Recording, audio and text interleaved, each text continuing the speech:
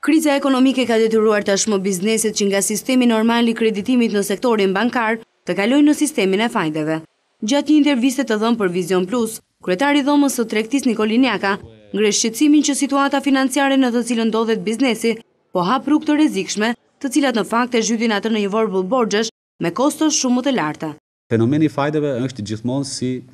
paraqitet si një fenomen i ri, pasi situata financiare e kompanive ka qenë e shëndetshme, por duke u ndodhur një situatë në pamundësi për të qenë prezent qoftë me sistemin bankar apo në sisteme të tjera të financimit me partneritete, sipërmarrësit për të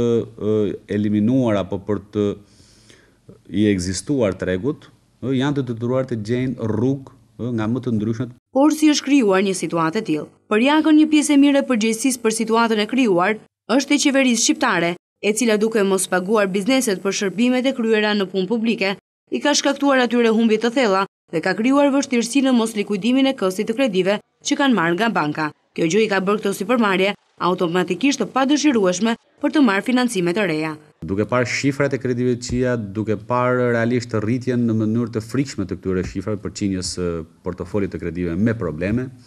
por njëkohësisht duke parë edhe mundësitë që sipërmarrja duhet të jetë realisht në tregun dhe në ekonominë e vendit, nga njëra anë, dhe nga ana tjetër kemi edhe detyrimet që